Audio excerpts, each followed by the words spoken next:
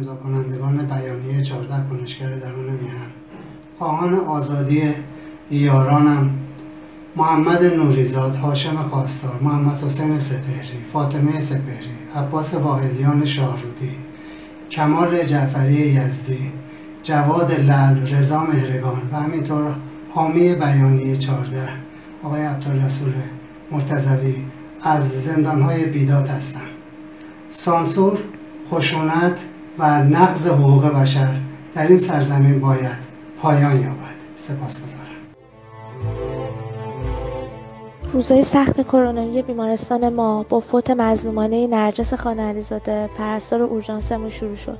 اصلا یک شرایطی بود یه حال هوایی بود. سید میروایدی رفته بود بالا سرش که بتونه مثلا تو اولین فرصت بهش بتونه کمک بکنه که واقعا نتونستیم و عمرشون به دنیا نبود. خدا رحمتشون کنه.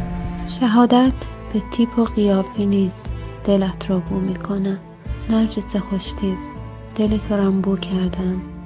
با فوت نرجس عزیز تمام دوستا و فامیل ازم خواستن که دیگه سر کار نرم. ولی من با عشق بیشتر و خیلی مصممتر از قبل سر کارم حاضر شدم تا نبودم هیچ فشاری رو همکاران وارد نکنه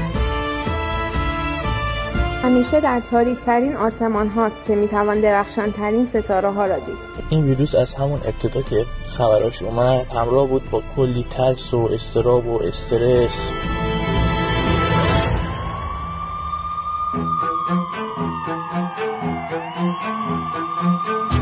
رفتن به محیط کار مانند رفتن به جنگ بود.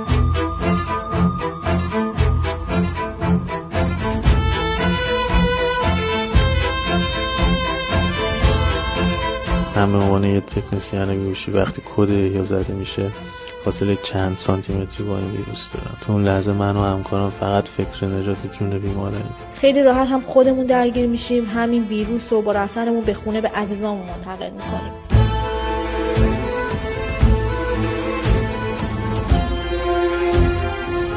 بخش اصلی و بخش سختش لباسا بود که واقعا کار باش خیلی سخته. عینک شیر دستکش کارو خیلی سختتر می‌کرد. این لباس ها منفذ هوا ندارن. تو هیچ وقت نمی‌فهمی که چقدر قوی هستی تا وقتی که قوی موندن تنها راحت باشه. در دوران کرونا شوهرم دو هفته تو کما بود. با تلاش های شبان روزی پزشکان و پرستاران به زندگی برگشت. فقط می‌دونم خدا به همون قدرت داد که قوی باشیم و من تو سن 29 سالگی به اندازه 50 سال بزرگ شدم.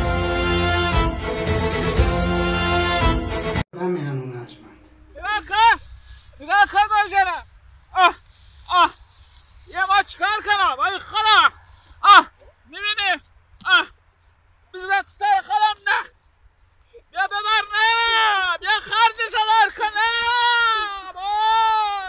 طلب کارم اومده اینجا چه کام رو فرم خود آخه آخه برجای کنه پول ساعت تو کارگر کنه ساعت تو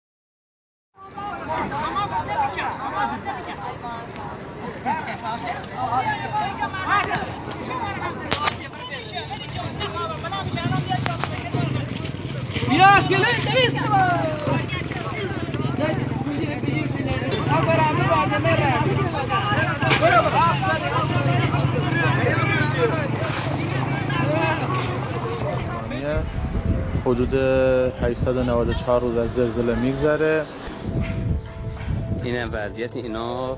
دارن بدون آب و برق زندگی اینجا می‌کنن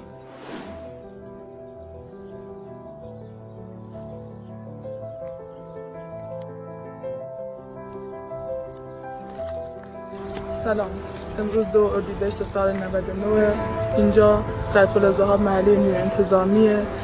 حدودا 891 روز دقیقا فکر کنم از زلزله گذشته. ما هنوز داخل کانستیم چند تا خانوار اینجاست. الان سه روز آبرقمون قطع کردن. به خاطر سخیری زیاد دیگه نمی‌ذارن اینجا باشیم. بعد الان من یه بچه یک ماهه دارم.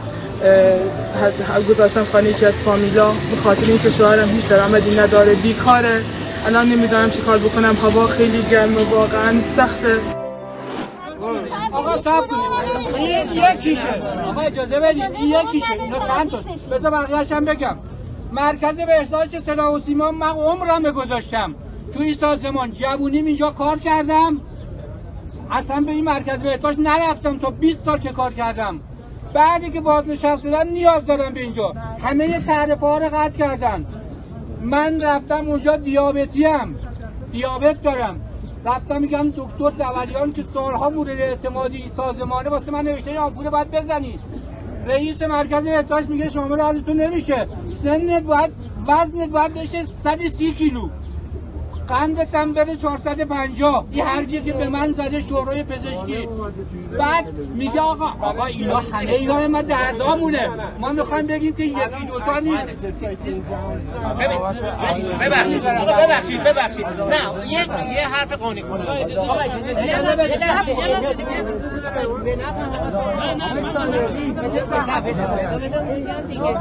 الان من رفتم بازنشستی گفتم 15 درصد. حالا شما این 50 درصد چه رقمی رو می‌خواید تعیین کنید آقای آقای عسکریان که توی حالا میگه حکم بازنشستی میگه ما حکماتون زدیم گفتم به بازنشستا تعلق نمی‌گیره که. اومدن